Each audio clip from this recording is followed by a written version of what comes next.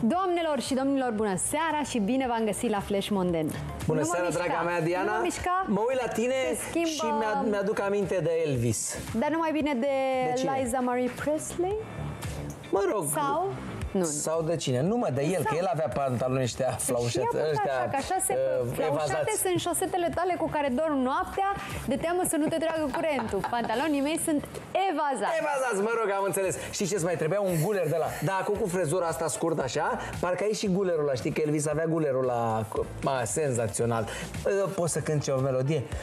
Love me tender, love me true. Da. Never let me go. Pe aceste acorduri de neuitat, hai să vedem ce v-am pregătit pentru asta. Mai bine. Antonia și Alex Velea fac slalom între viața de artist și cea de familie. Totul pentru copiilor. Vor cu orice preț să le ofere o copilărie normală, chiar dacă băieților știu prea bine cine le sunt părinții. Cum reușesc să păstreze echilibrul aflați la noi în seara aceasta. S-au iubit cu foc și au divorțat cu viteza luminii. La Hollywood s-a bătut recordul celor mai scurte căsătorii din istorie. Cine sunt protagoniștii, vedeți la Flash Monden. Nici nu se putea uita în oglindă și se considerau unele pe bună dreptate rățuștele urâte. S-au operat și acum sunt mardive. Despre cine este vorba aflați tot la noi în seara aceasta. Antonia și Alex Velea fac slalom între scenă și casă. Pentru că au viețile tare aglomerate, iar cei doi copii solicită mult. Cel mai greu însă este și le este să le ofere o viață normală departe de lumina reflectoarelor. E cumva imposibil. Cam da. da. Acum, cei doi copii știu prea bine cine le sunt părinții, mm -hmm. dar echilibrul funcționează și în cazul lor. Auzi, există oare la ei în casă polițistul bun și cel rău? Tu ce crezi?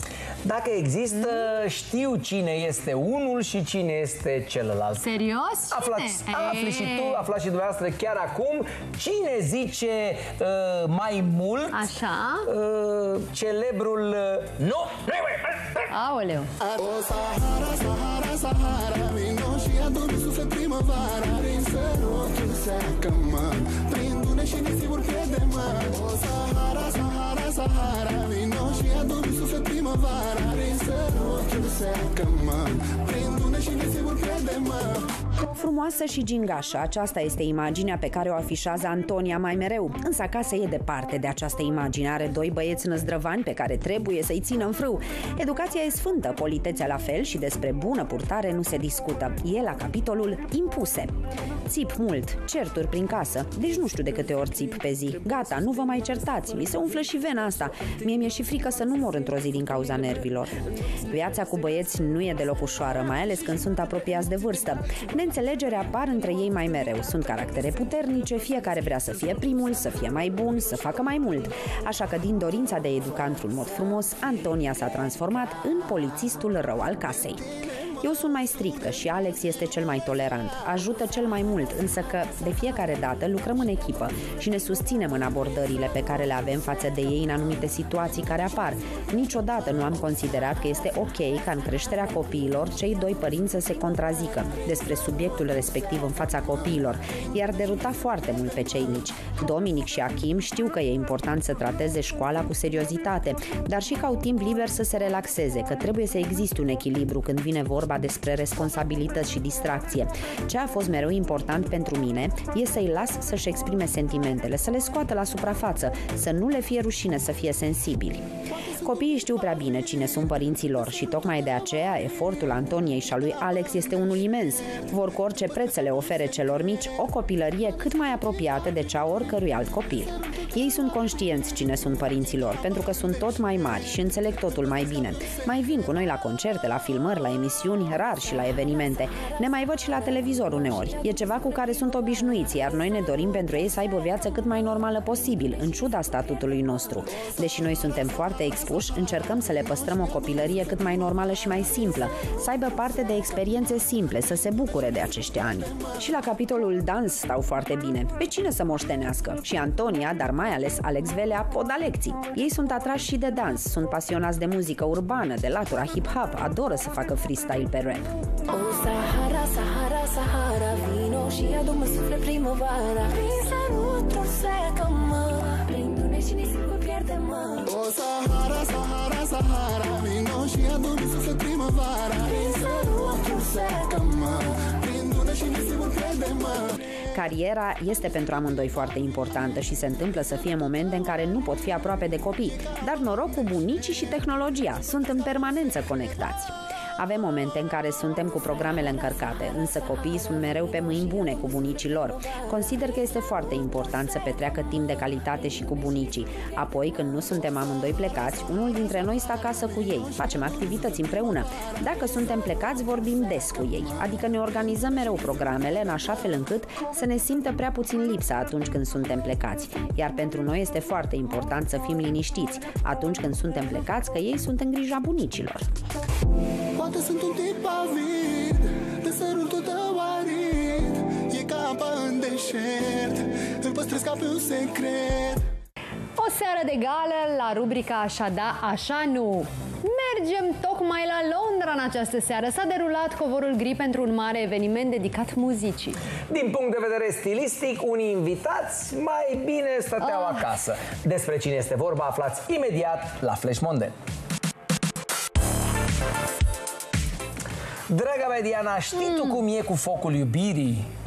Se aprinde, se stinge, se Aia, aprinde. da, da, da, se aprinde, pare că nu Da. se mai stinge Dar uită-te și tu, că uneori zici că nici n-a fost Până să intervină pompierii, Nino, Nino, Nino Mhm. pa, Toată lumea a și uitat că a ars ceva Despre ce vorbești tu, oare, Kobe? Despre cele mai scurte căsătorii Așa. din istoria Hollywoodului Știi ce multe au fost? Da, cei drept au fost cam multe. Ah, dar stai că eu am o explicație. Ia, Măi, uimește-mă. poate se plictiseau oamenii, poate Da. erau într-un punct al vieții lor în care se gândeau că n-au altceva mai bun de făcut. Oricum, știm cum e. În cetatea filmului totul se întâmplă cu o viteză amețitoare de nu mai știi ce Da, e nu acolo. știu dacă despre asta a fost vorba, dar Da. mă rog, toate semnele susțin ipoteza ta. Mhm. Da, acum zici și tu, 12 zile, ce căsătorie e asta? 12 zile? Da. He, he. Pa, A fost una, mi-amintesc, cred că de 55 de ore și tu vorbești Așa de zile? mult? Todo lo que tengo es pa' ti, pa' ti Pase lo que pase, estoy pa' ti, es Jennifer Lopez a fost o iubăreață toată viața. Drept dovadă, are la activ câteva căsătorii și tot atâtea divorțuri. Cel mai scurt mariaj l-a avut cu dansatorul ei Chris Judd. După două luni s-au luat cu acte și după doar nouă au rupt mariajul. Mai rău a fost între Liam Hemsworth și Miley Cyrus. 10 ani au fost ei împreună până când să facă pasul cel mare. A cerut-o cum se face, au făcut și nunta, dar ce s-o fi întâmplat? Că după șapte luni erau la tribunal. Nu se mai suportau. O fi fost presiunea actelor prea mare? Și Drew Barrymore a făcut o lată. A divorțat după doar patru luni, iar Bradley Cooper clar nu e făcut nici el pentru căsătorie. Tot după patru luni a rupt-o cu dansatoarea Jennifer Esposito. Mai tare ca toți a fost Nicolas Cage. Trei luni a stat însurat cu cântăreața Lisa Marie Presley. Clar a fost o greșeală și la ei. De departe însă, Kim Kardashian e din nou în top. 72 de zile a durat căsătoria ei cu Chris Humphries. Și Pamela Anderson concurează serios la acest capitol. Mariajul ei cu jucătorul american de poker Rick Salomon a durat doar 60 de zile. Însă, diva blondă nu e câștigătoarea competiției cel mai scurt mariaj. E surclasată de Eddie Murphy, care a stat cu verigheta pe deget doar două săptămâni. Pamela însă nu s-a lăsat. A mai încercat odată și s-a căsătorit cu John Peters. Cât au rezistat? 12 zile. Dar cine să fie campioana? E blondă, e dintr-o problemă în alta, iar acum se pregătește din nou de măritiș.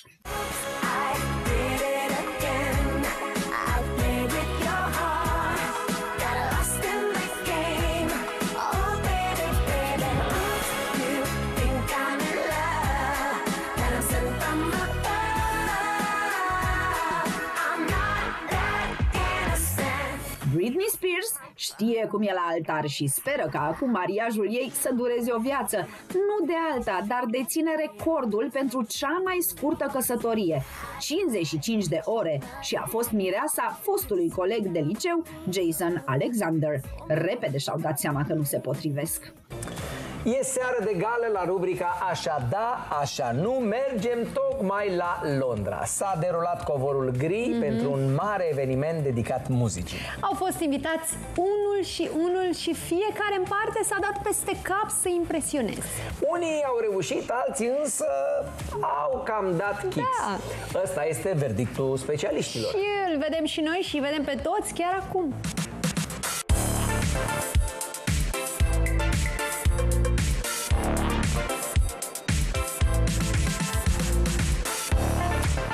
Doamnelor, domnișoarelor și domnilor! Mi-a fost dor de voi, așadar cu zâmbetul pe buze vă spun bine ați revenit la Așa da, așa nu și tot cu zâmbetul pe buze îmi salut invitatul din această seară, Gabriel Hutera, fashion designer. Bună seara! Bună seara!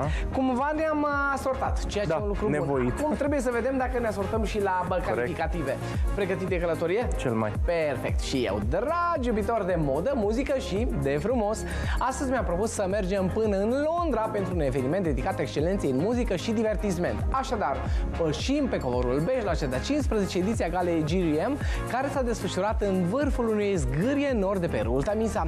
Într-o vedere panoramică superbă asupra Londrei, celebritățile și-au făcut rând pe rând apariția la acest eveniment plin de lux și opulență. De exemplu, Alicia Dixon a pășit pe covorul bej în această rochie neagră cu transparențe, mini trenă și model floral din mărgele. Artista și-a completat lucrul cu părul uh, la spate într-o coadă și cu o pereche de cercei strălucitori, pentru care primește așa da sau așa nu. Clar, așa da. Păi de ce? Uh, proporțiile dintre culori și negru mi se par uh, subtile, finuțe. Ador faptul că am mers cu mânecă lungă, chiar dacă e un material transparent. Uh, îi pune în valoare corpul, iar uh, per ansamblu pot să zic că e un look complet și chiar exemplar.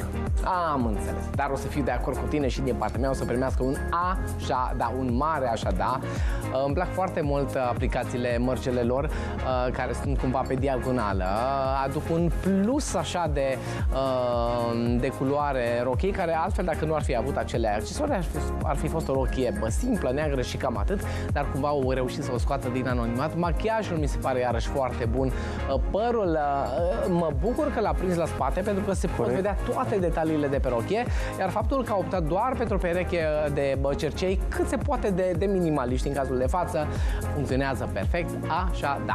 La această gală am mai acceptat uh, invitația organizatorilor și frumoasa Jordan Rain, care a preferat un designer englez care i-a propus această rochie cu drapaje, transparențe și decupaje inspirată din statuile romane. A optat în schimb pentru bijuterii minimaliste, iar această alegere vestimentară a ei o plasează spre un așa da sau un așa nu.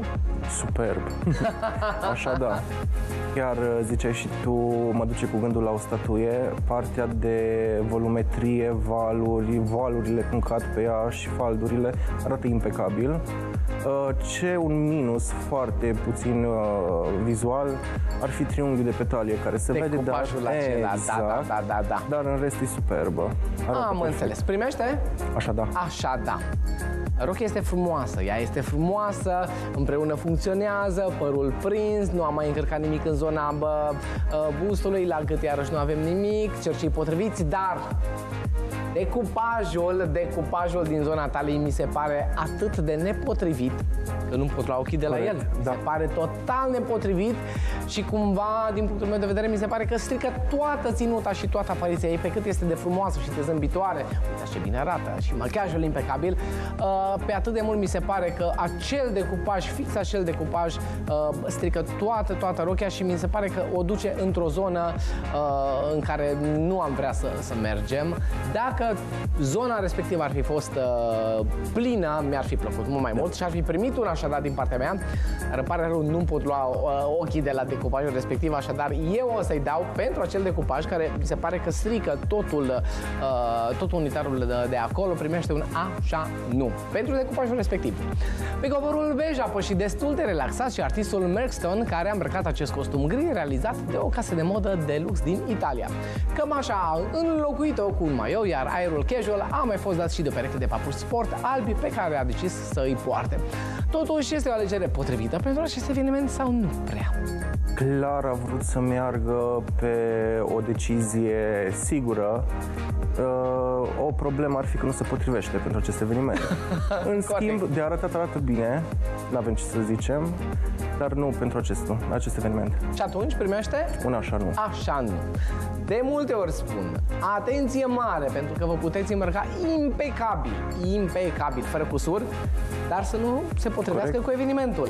Așa se întâmplă și în cazul lui, vorbim de un eveniment de lux, unde doar spuma vedetelor a fost invitată, ori în cazul de față nu te poți uh, prezenta uh, ca și cum ai merge la o premieră de film. Pentru că da, este o ținută care ar funcționa foarte bine la o premieră de film, nu la o gală. Așadar, dacă am fi înlocuit uh, maioul cu o cămașă, am fi închis uh, sacoul, iar uh, papucii sport am fi înlocuit cu o pereche de pantofi. Alta ar fi fost situația bine. Și am mai fi renunțat și la ochelari de soare, ar fi fost uh, excelent. Dar așa, într-adevăr, este o, o alegere bă, vestimentară potrivită, dar nu pentru acest eveniment. Drept urmare, o să primească și din partea mea un așa nu. O apariție romantică și boemă a fost și a artistei America Foster, care a venit cu umbrele din flori naturale, dar și cu această rochie neagră din paiete, pe care a accesorizat-o cu un colier cu perle și o geantă din aceleași paiete negre. Interesantă apariție, dar potrivită pentru așa da sau pentru așa nu. A venit cu grădina după ea. Aruncăm umbrela, pernele, uh, perlele Așa. și poșeta, Așa. probabil chiar mânecile să le aruncăm. Bun. Atunci o să mergem pe un așa da, dar pentru moment primește clar așa nu. Așa, nu. Avem prea multe. Se întâmplă mult prea multe acolo. Pe lângă faptul că se confundă cu fundalul care este cu elemente florale, ea are umbrela care la fel este plină, plină de flori, de altfel care arată foarte bine, dar în alt context. Uh, nu înțeleg geanta de ce a bă, luat-o. Iarăși nu pot să pricep aceste mâneci care se Da. doresc a fi niște uh, mănuși, dar care de fapt nu sunt mănuși. Uh, nici partea de decolteu nu mi se pare cea mai fericită. Uh, alegere, bă, pentru că pe lateral nu se vede tocmai bine. Perlele nu prea au ce căuta în această combinație cu paiete.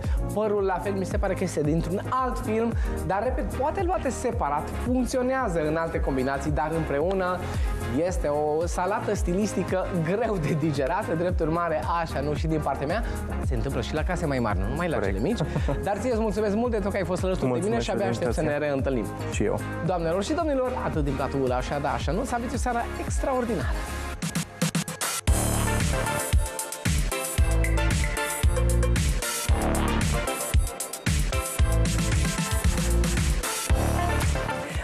Nu se putea uita în oglindă și se considerau unele pe bună dreptate rățuștele urâte. Așa că au ajuns pe mâna esteticienilor și s-au întâmplat minuni. Despre cine este vorba aflați imediat după publicitate. Rămâneți cu noi, revenim.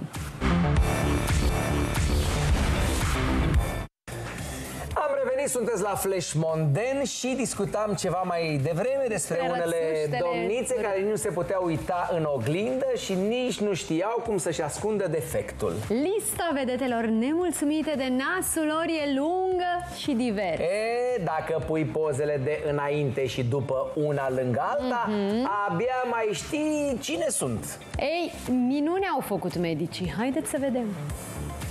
Blake Lively este una dintre marile frumuseți de la Hollywood, unde mai pui că este soția celui mai râvnit bărbat. Ryan Reynolds este un mare norocos care așa minune de femeie acasă, însă nu a fost mereu așa. Actrița s-a născut cu un nas de toată frumusețea, pe care într-un final l-a reparat cu bisturiul. Diferența este acum de la cer la pământ.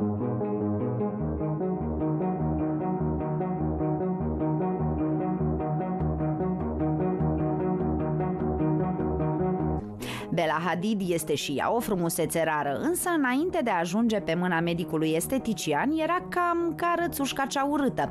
Cu un nas mare și strâmb vedet abia dacă se putea uita în oglindă. Acum arată ca o operă de artă. Kendall Jenner este de nerecunoscut. Odată nasul modificat, pur și simplu s-a transformat într-o cu totul și cu totul altă persoană. Mari complexe a avut vedeta, așa că rinoplastia i-a fost prioritate.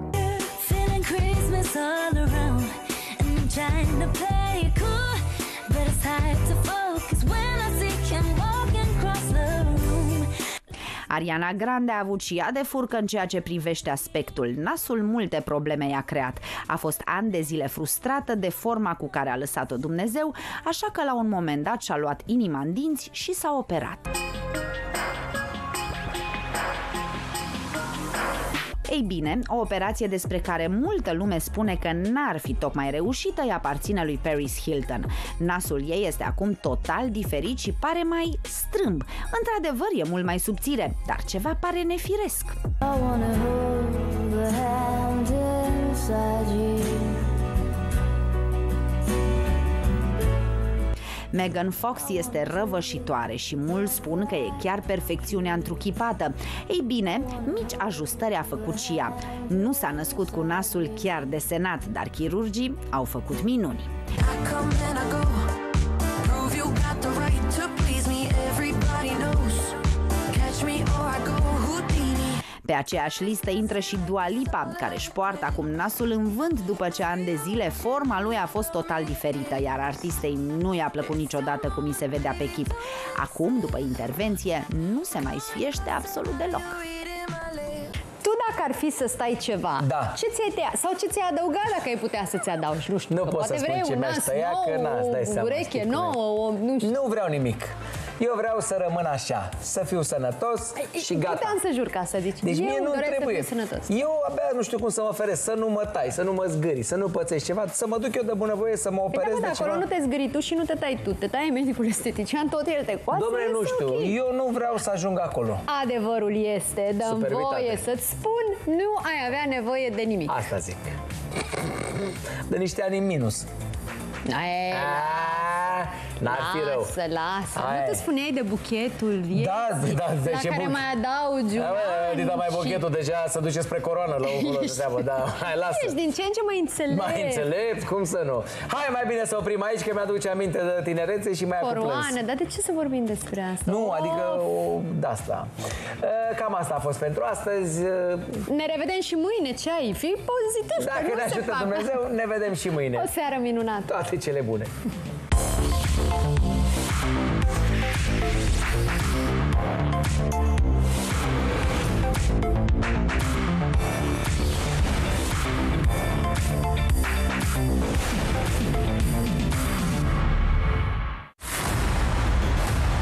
Disponibil pe primaplay.ro